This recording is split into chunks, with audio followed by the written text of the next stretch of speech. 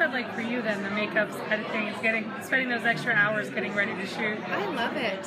Um, it's four and a half hours. I talk the whole time. I'm not claustrophobic. I'm a people person, and the people that we work with in special effects makeup are so great, and we get to spend many hours together, as you know. And um, I feel like their artistry makes the job so much easier. You know, the I'm not that scary as a person, but when they're done with me, I certainly am.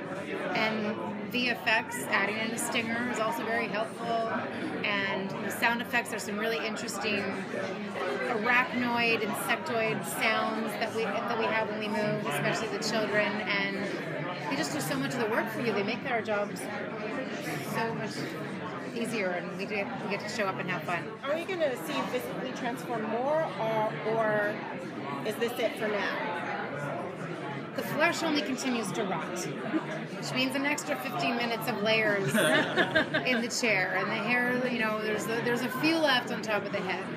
But physically, working with the choreographer Roberto Campanella, I worked so hard in the first season to figure out how to twitch, and then this season, okay, not not so twitchy.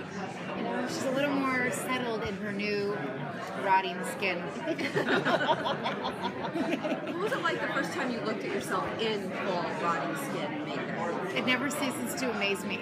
You start to desensitize as it's applied, and then you step away for a bit, and when you get to set, that's when they put in the contacts and the teeth.